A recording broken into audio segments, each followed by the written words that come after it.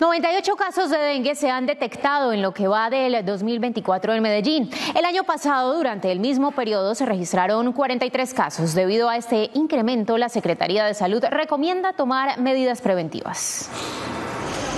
De los 298 casos registrados, el 68% no presentó signos de alarma y solo dos presentaron síntomas graves.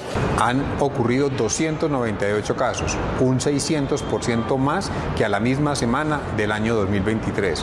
¿Cómo identificar el dengue? Fiebre, dolor muscular, dolor articular.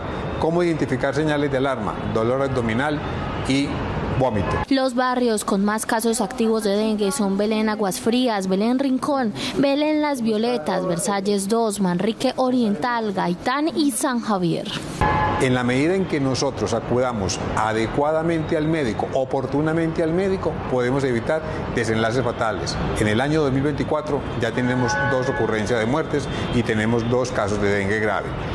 La búsqueda y eliminación de criaderos a nivel de las casas, de los lugares de estudio, de los lugares de trabajo es la principal herramienta para combatir la enfermedad. Esté atento a las señales de alerta como dolor abdominal, vómito, diarrea, inflamación de extremidades, hemorragias y consulte al médico.